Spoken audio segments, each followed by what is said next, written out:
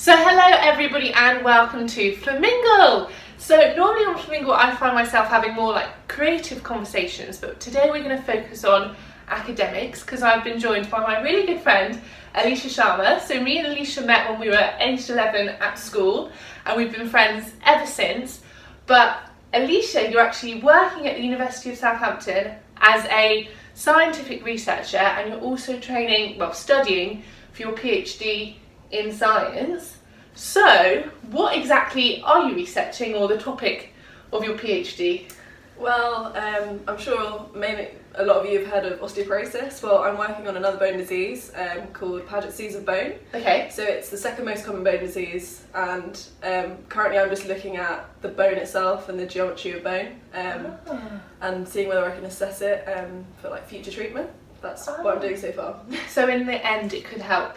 Yeah, I, I mean that's the goal for sure. Our group is looking at a specific perspective of this disease, so hopefully we do find something. And you're like one of the young, you're the young, at age 22 you're the youngest in the group, In you? my office group, yeah. So um, Wow. yeah. So how many of The you all together to hopefully come up? So we're split into loads of different groups. So Yeah. um, I've actually got a supervisor who's specifically in biomedical science, but then I've got two engineering supervisors because Okay. I'm doing bioengineering. Um, and we have two different groups essentially. So one group, there's only like um, about five of us, but then whereas like in the office that I'm working in, there's like probably like 15 people in there. Really? So it's quite nice. So we work, we have like different um, like group projects and things, and you kind of intercalate between different studies um, to help each other out, which is quite nice. Oh, that's so, nice. So it all overlaps and you can all help each other. So it takes actually 18 months for you to gain your PhD. So well, no, 18 months is halfway. Oh, So- halfway! Well, for me, uh, so PhD projects are different. Um, you can have three, four-year projects. If Okay. you go to like America, they can be longer. It Yeah. depends where you go. But um, yeah, mine's three years, um, which is good for me. she's at the halfway point. I reached Okay. halfway, um, and I've got 18 months to go. So very, very Yeah. exciting. How are you finding it though? it's tough. So first year is actually quite nice. It's kind Okay. of like when you go do your BSc in first year. It's That's your Bachelor of Science, yeah, yeah. my Bachelor of Science. Um, it's quite nice to do um, your first year. It's kind of like eased in. I felt kind of the same with my PhD. It was kind of a nice transition.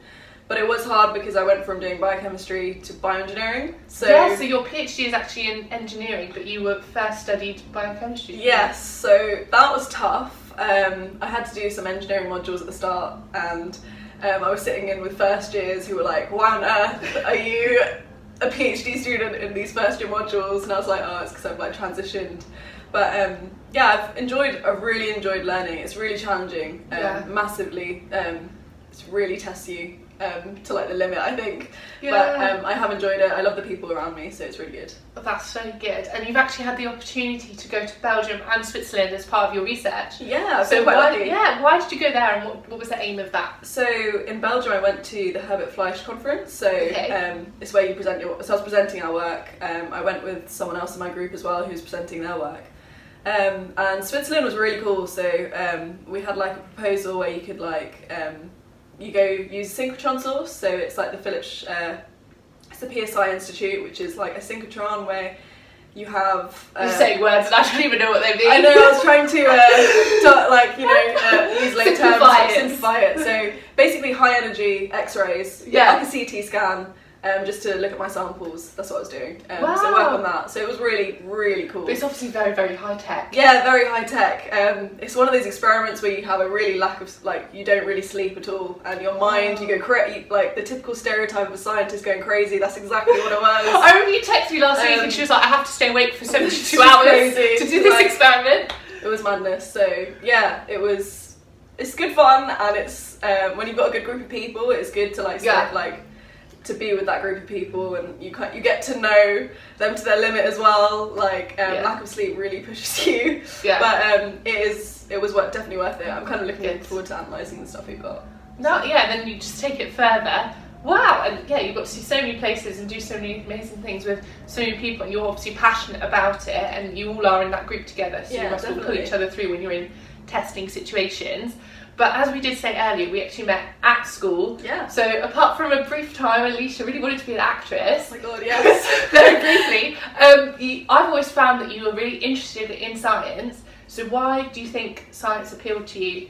Over acting, do you think, or just in general? Just in general. I don't know. I think Or when you had to um, pick like what you would do. Yeah, I remember having meetings with like um, our tutors and stuff, being like actress or scientist. What's wrong with you? Why are they so different? But um, Yeah. I think I don't know. When, when it came to acting, I just loved performing. I used to be on stage, loved it. Um, but when it was science, just learning about the body. Um, the more I did uh, biology, the more I did like chemistry. The more I just loved that specific kind of topic. And then uh, my brother was ill when he was younger, and originally I looked at doing medicine Yeah. because of being in like the hospital quite a lot. So yeah, I think it just changed my perspective, and I eventually just enjoyed science more. So that's why I went into science. Wow. Um, so I don't know. At school, I found science quite a challenging subject. However, you were always so determined to do so well in it. Like maybe you didn't always get the best marks, but you were so determined. So why do you think you wanted to build a career out of it? Like you said, your brother was unfortunately ill when he was younger, but he's fine now. Um, but yeah, how did you go about doing that?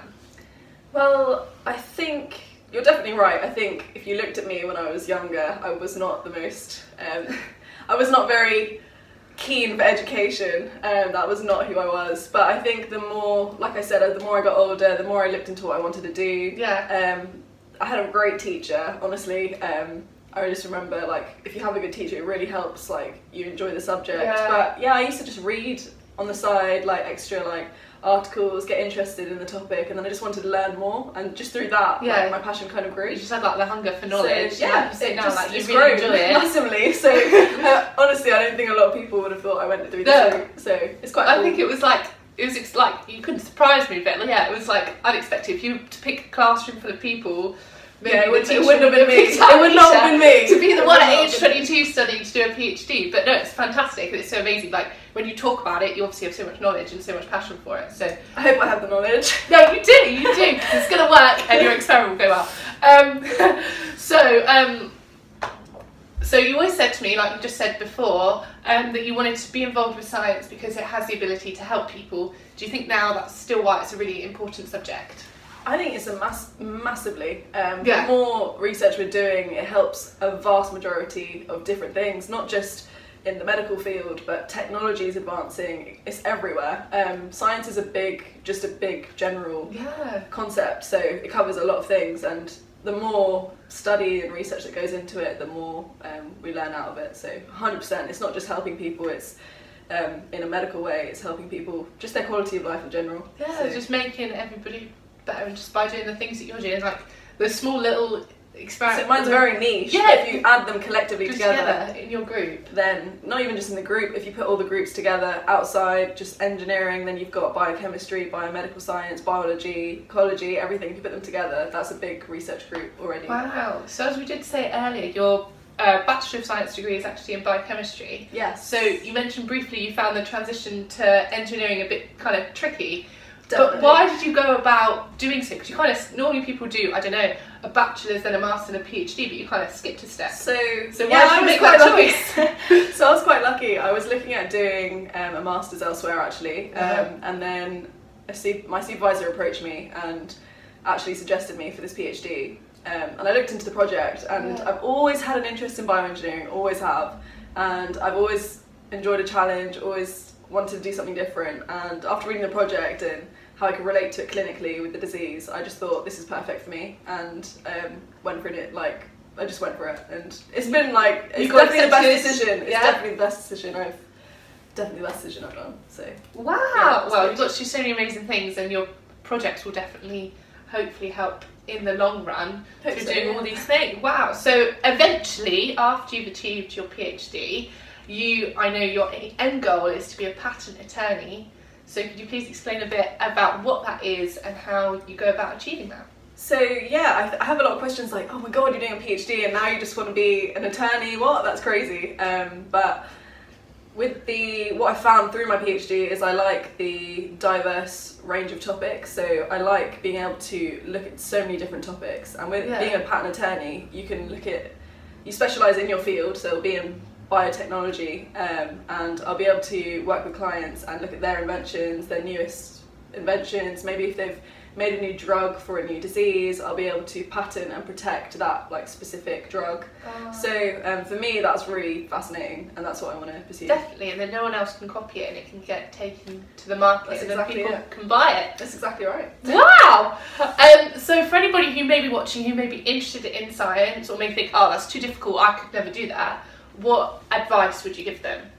Well, honestly, I if you honestly met me when I was at school, you would have not ever thought I would have gone into science. Honestly, um, so I just think if you've got a passion for science, keep Yeah. reading, keep um, keep working hard at it. You just have to work hard. You don't have to naturally um, be gifted. You can just keep working hard. I think That's what I would always determination- say for you, like, determination and such a hard working. person. That's that's all you need, I Yeah. think. And if you're passionate about it, then you will fly and, and Yeah. go through it. So get those grades that you achieved in your exams at school or even now like through all your degrees and stuff like you've obviously put in the hours of the time and the dedication to do it and that's what it takes i think with anything definitely. and you're definitely proof of that so thank you okay now we have a bit of a fun question Okay. so to test see if alisha's a real scientist maybe some of you may have watched the big bang theory um, Okay. but of all the characters in that so they've kind of tried to make science a bit cool and relatable on a tv program so what character would you say you're most relate to most similar to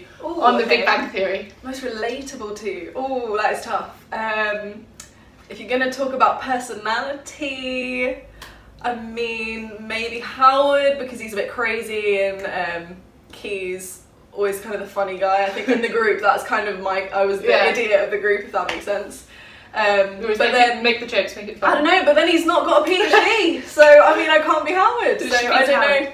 I, I guess Amy does neuroscience. Maybe a mix of maybe a mix of all of them. Mix Um, all of them together. if I can look like Penny, then great, I'll take that. But um, no, yeah, um, honestly, that that would be tough to choose. Uh, Yeah. I love I love all the characters to be honest. Yeah, it's so relatable. It's probably good for you to see like something that you're doing on the screens and then Yeah, it's a good laugh. It's actually. Um, Do you think it's quite sad. relatable? I don't know if it's sad when I understand some of their jokes and I'm like, should I be laughing at this part of the program? I don't know, but no, um, it's great. Watch it if you haven't watched it. Big Bang Theory. That's so fun. Wow. Well, thank you so much for sharing all your knowledge and all your Yeah, thanks for having me. No, of course. All your studies with your PhD and everything. Of course, I wish you the best of luck. And you're going to keep on telling us how it goes and things like this. Um, so I just want to say, I think it was very flamingo of you to just, like, as we have kept on mentioning throughout this video, to just keep on following your passions and be determined and do as you are within achieving the sciences. That's fantastic. So thank you for sharing that with all of us. And of course, thank you all so much for watching. I hope you have enjoyed my chat with Alisha. And please do, if you haven't already, subscribe, follow, like, and share to Flamingle at This is Flamingle.